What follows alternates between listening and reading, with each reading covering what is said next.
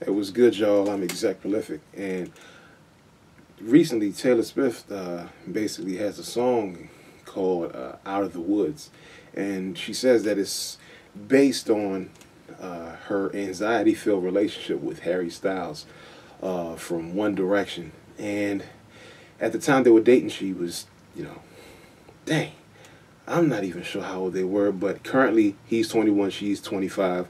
So there was a four year difference. So I guess the immaturity on his end, you know what I'm saying, uh, caused him to, you know, give her the anxiety that she experienced in the situation. But this song basically has the same ingredients as a lot of her other songs, you know, like Bad Blood, um, and a bunch of other hits that she's had out because she basically has relationships that usually go south in a bad way.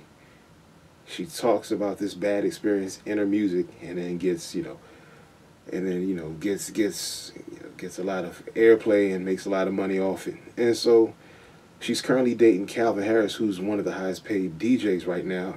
Hopefully things go well with them. If not, he's just going to be another page in the book and probably another hit record that she puts out.